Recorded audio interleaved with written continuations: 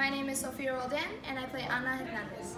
So the first. Oh, I'm Puerto Rican and Guatemalan, so being Latina, what people go through, and and the struggles of having to deal with a family, having to deal with providing, not always being able to be with them, even though you provide that home that you don't get to live in, you provide the food that you don't get to necessarily eat with them. um, so I, it's impacted me a lot. It really opened my eyes and made me feel more proud of my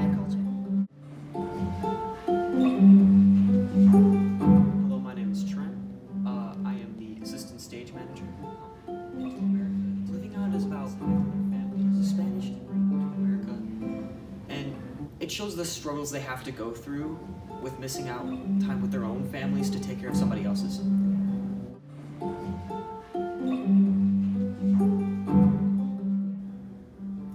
My name is Luke Geitzer. I play Richard Robin in Living Out. The show is important today because it's it seems like it's an issue that's not really dying down. Everybody's still dealing with this. Please come see Living Out at Tremper at 7.30, uh, the 17th, 18th, 24th, and 20 through 26th. Yeah, come see it. Thank you.